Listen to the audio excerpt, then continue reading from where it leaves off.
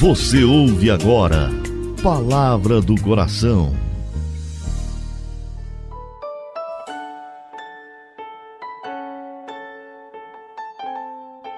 Em nome do Pai, do Filho e do Espírito Santo. Amém. Meu Senhor e meu Deus, eu creio firmemente que estás aqui, que me vês, que me ouves. Adoro-te com profunda reverência.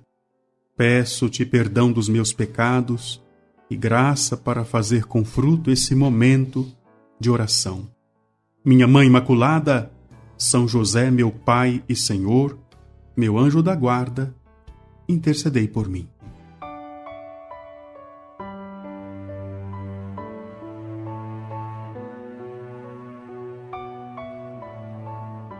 Quero continuar falando com você sobre os efeitos sobre a graça do Espírito Santo, viu? O Espírito Santo, ele gera em nós um vínculo de amor. Assim como o Espírito Santo, que é amor incriado, é um laço é, que não se dissolve, que une o Pai e o Filho, assim este mesmo Espírito Santo quer nos unir a Deus. O Espírito Santo que suscita a caridade, é uma força que nos une a Deus. E Deus é amor. Quando falo vínculo, eu quero dizer de quase que uma um pacto, um acorrentamento. Os laços do mundo são laços de morte, mas os laços de Deus são laços de vida e salvação. Então é importante que a gente se vincule que a gente se enlace no amor de Deus. E Deus, que é soberano, vai arrancar-nos daquilo que é falso, daquilo que é passageiro. Antes da encarnação do Verbo, os homens separavam-se de Deus, apegando-se às coisas da terra. E assim acabavam recusando a Deus. Mas o nosso Deus Criador, cheio de ternura, nos atraiu para si. Como? Revelando-nos o seu Filho, revelando-nos o mistério da paixão do seu Filho.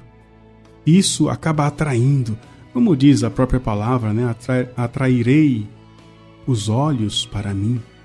Impossível quem conhece a história de Jesus não se sentir atraído por ele. Deixemos que o Espírito Santo nos atraia mais e mais a Jesus. E isso gere em nós o vínculo do amor, o laço do amor, que reúne todas as virtudes e, e ajuda a alma a buscar a perfeição. Por isso que Santo Agostinho fala esta frase que eu gosto muito de repetir: Ama a Deus e faz o que quiseres. Porque quem ama a Deus tem cuidado de evitar tudo aquilo que causa desgosto a Deus.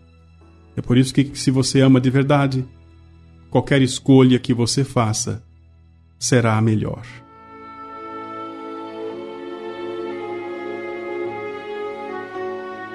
Dulcíssimo Jesus, muito me haveis obrigado a amar-vos.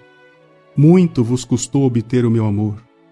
Ingratíssimo seria eu se vos amasse pouco ou dividisse o meu coração entre vós e as criaturas, depois que por mim derramastes vosso sangue e sacrificastes vossa vida.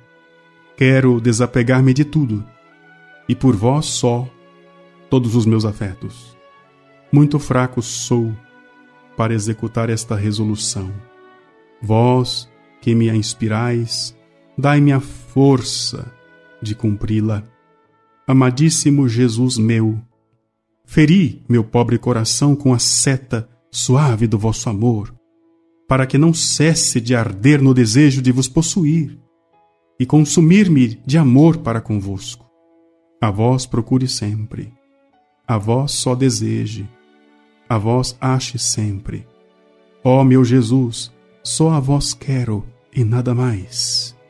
Fazei com que eu repita sempre durante a minha vida e, sobretudo, na hora da minha morte. Meu Jesus, só a vós quero e nada mais.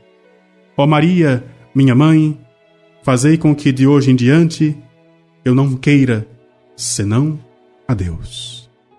Dou-te graças, meu Deus, pelos bons propósitos, afetos e inspirações que me comunicasses nesta meditação. Peço-te ajuda para pô-los em prática. Minha Mãe Imaculada, São José, meu Pai e Senhor, meu anjo da guarda, intercedei por mim. Que desça sobre você a bênção de Deus Todo-Poderoso, Pai, Filho e Espírito Santo. Amém.